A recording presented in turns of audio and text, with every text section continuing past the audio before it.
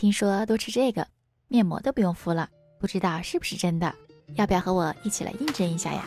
看到网上有直接卖搭配好的雪燕桃胶皂角米，就直接买了回来。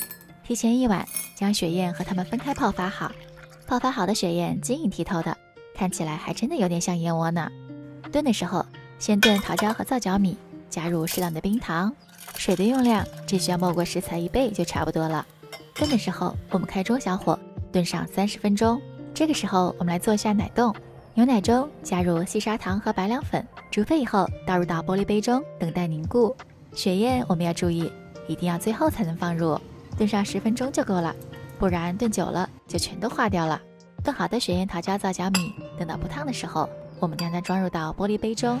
天气热的话，冰镇一下吃会更加的好吃。